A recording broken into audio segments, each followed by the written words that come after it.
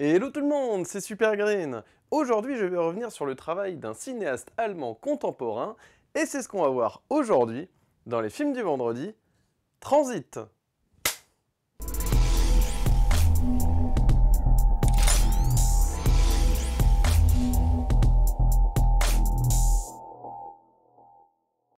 Salut à tous et bienvenue dans les films vendredi. Aujourd'hui, j'ai le plaisir de revenir sur Transit, l'avant-dernier film de Christian Pelzold, qui est un cinéaste allemand contemporain, à qui l'on doit notamment Barbara, qui lui valut l'ours d'argent du meilleur réalisateur à la Berlinale 2012. Il nous revient des années après, dont Transit, après un autre film qui s'appelle Phoenix, qui avait été aussi euh, très remarqué, et vous connaissez probablement Ondine, puisque c'est le dernier en date sorti cette année, qui valut donc l'ours d'argent de la meilleure actrice à Paula Beer, Paula Beer qui est également donc dans Transit. Film qui a divisé à la fois la presse et les spectateurs. C'est probablement, le film qui a le plus divisé dans la carrière de Christian Petzold, notamment pour une question de reconstitution, puisque l'action qui est censée se dérouler en 1940, les faits relatés en fait viennent de 1940, sous l'occupation en France, et en réalité donc Christian Petzold donc narre ces événements dans une société moderne d'aujourd'hui, la France, en filmant la France de 2018, en fait, euh, Marseille en l'occurrence, puisque le personnage principal, Georg, interprété brillamment par Franz Rogowski, que vous avez pu voir également dans Une vie cachée, n'hésitez pas à voir mes critiques d'une vie cachée sur ma chaîne, je vous recommande. Très très bon film. Euh, donc Georg qui va euh, donc euh, partir pour Marseille, de Paris à Marseille, puisque Marseille n'est pas encore en zone occupée, et il va pouvoir donc espérer, en partant avec un camarade de fortune, arriver dans cette ville et essayer d'obtenir un visa pour le Mexique. Hein. Voilà, il est en fuite, évidemment il, il fuit le fascisme, le nazisme, et Georg va prendre l'identité d'un certain Weidel, qui est un écrivain qui s'est suicidé parce qu'il était persécuté. Et donc, voilà, en arrivant à Marseille, euh, ça va bien l'arranger euh, quand il va demander donc euh, un visa pour le Mexique. Et entre-temps, il va rencontrer Marie qui s'avère être la femme de Weidel. Weidel n'étant plus là, elle attend son retour désespérément pour pouvoir partir avec lui au Mexique, puisque c'est le seul à pouvoir obtenir un visa. Et c'est formidable parce que à ce niveau-là, ça va créer donc un certain mystère. Euh, déjà plusieurs fois en fait, euh, Georg va faire des allers-retours au consulat du Mexique et euh, va rencontrer donc cette femme. À chaque fois qu'il se balade dans Marseille, il rencontre cette femme et il ne sait pas encore que c'est la femme, de ce Weidel. Et c'est ça, qui est, ça qui est fort en fait dans le film. Voilà, c'est ça qui vous tient en haleine. Et euh, voilà, donc ne vous attendez pas à une romance qui démarre in medias res, puisque le film va prendre une heure avant d'installer euh, cette romance. Hein. C'est vraiment dans la dernière demi-heure du film que euh, la relation entre Georg et Marie va s'installer. Mais c'est la grande force de Christian Petzold, c'est de construire des romans sur fond historique.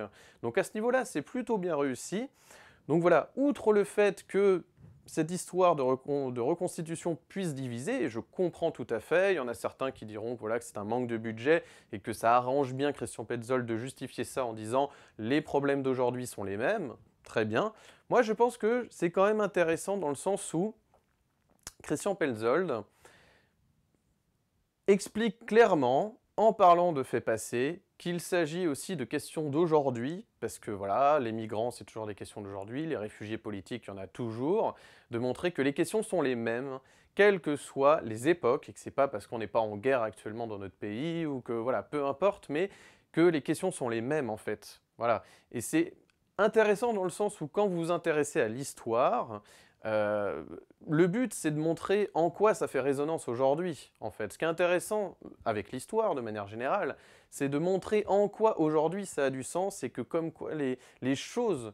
Euh, je pense que ça va éveiller, ce que je veux dire, c'est que ça va éveiller certains spectateurs qui vont se dire « Ah, bah, ça change du film historique de d'habitude euh, dans le sens où, voilà, finalement, bah, le cinéaste montre Marseille aujourd'hui, de 2018, avec des gens qui ont des smartphones. Moi, c'est vrai qu'à la première lecture, ça m'a fait drôle, parce que voilà, vous voyez des policiers du raid arriver, vous n'attendez pas du tout à voir la police de 19...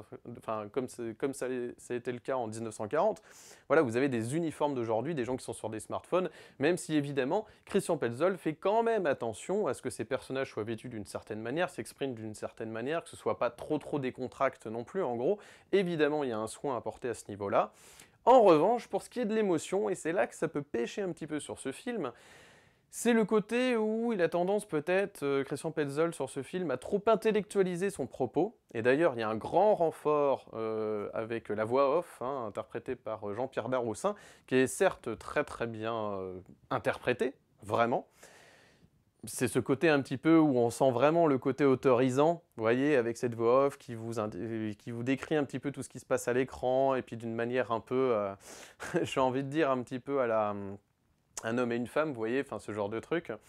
Euh, mais voilà, donc voilà, c'est ce côté un peu rétro quand même, grâce à cette voix off, grâce à ce style, mais euh, on reste quand même dans un décor d'aujourd'hui.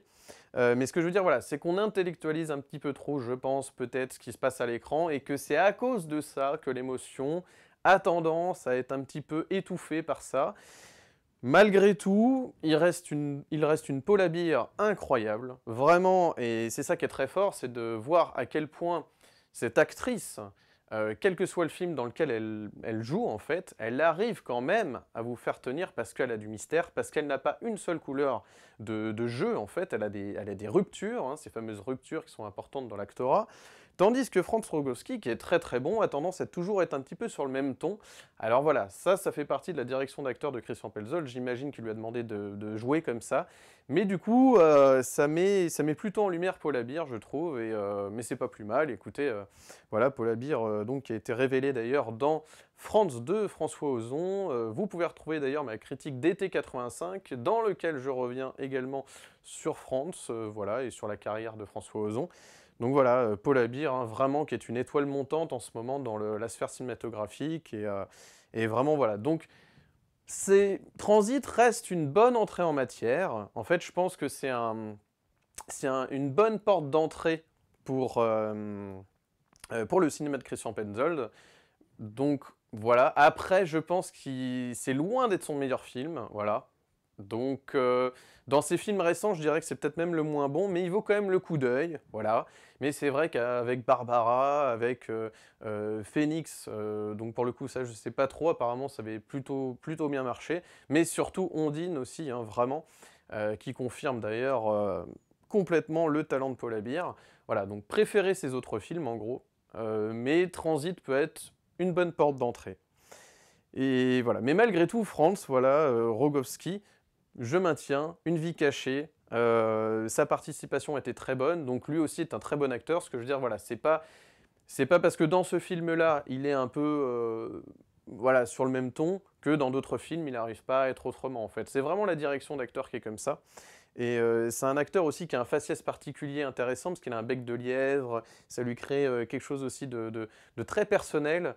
donc c'est voilà, globalement, on est quand même sur des, sur, vraiment sur, sur, euh, ouais, sur un bon duo en fait de cinéma. Et d'ailleurs, ils vont se retrouver les deux, hein, Franz Rogowski et Paul Abir vont être les deux interprètes d'Ondine juste derrière. Donc vous voyez, voilà, il y a vraiment un duo quand même qui fonctionne malgré tout. Donc euh, voilà, écoutez, ce sera tout pour moi euh, pour Transit de Christian Pelzold. Je vous le recommande, n'hésitez pas. Ça fait partie du cycle Arte en ce moment. Euh, donc voilà, profitez-en et donc découvrez Transit de Christian Pelzold.